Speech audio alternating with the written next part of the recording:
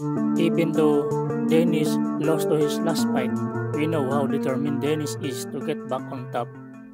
It's just coincidence that his current strength is not ready to defeat Devon Larratt. Dennis will come back stronger, as he always did.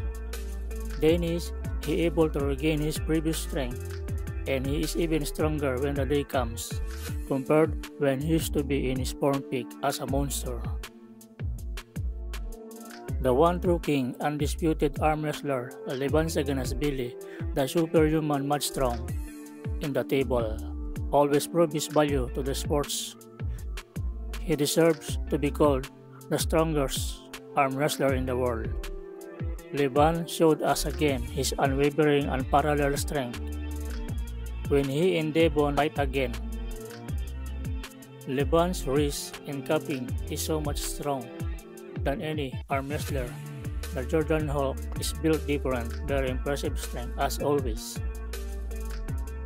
Dennis has just always trained continuously and he is looking ridiculous right now.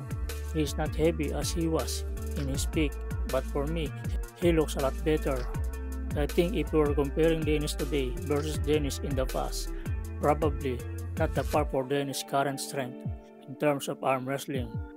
His weight looks to be around 120 kg at the moment and he has low body fat percentage.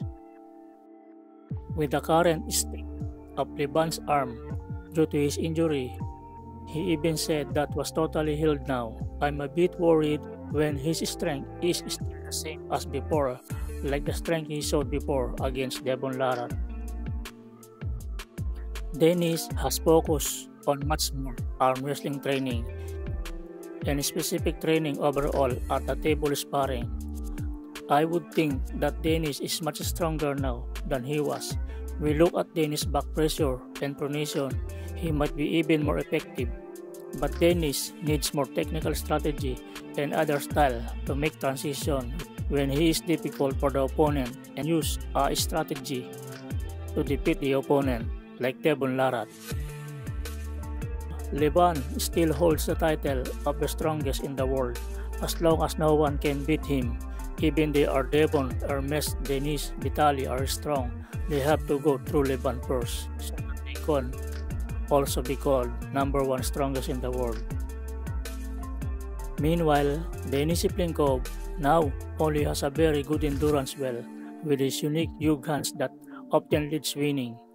Another advantages of Dennis is inside arm wrestling.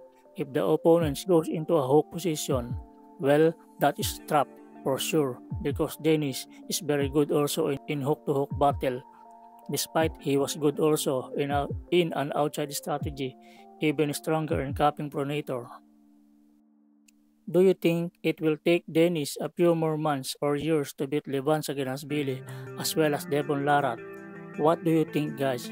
Let me know in the comment section. This is for today. Make sure to like and subscribe. Thank you for watching.